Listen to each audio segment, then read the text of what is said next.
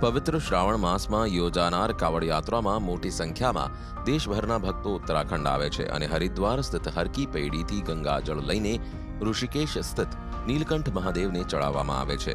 અને અહીં એક મેળાનું આયોજન પણ કરવામાં આવે છે. ત્યારે પવિત્ર કાવડ યાત્રાની સુરક્ષાને લઈને હાઈ એલર્ટ જાહેર કરાયું છે.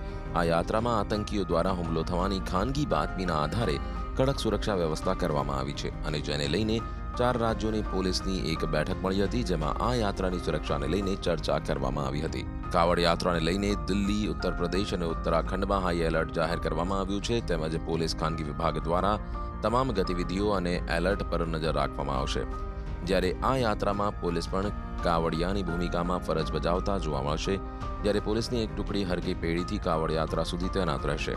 આ સાથે ડીઆઈજી પુષ્પક જ્યોતિના જણાવ્યા અનુસાર કાવડ યાત્રાને લઈ તમામ વ્યવસ્થા કરવામાં આવી છે અને ડ્રોન દ્વારા પણ સુરક્ષા વ્યવસ્થા પર નજર રાખવામાં આવશે.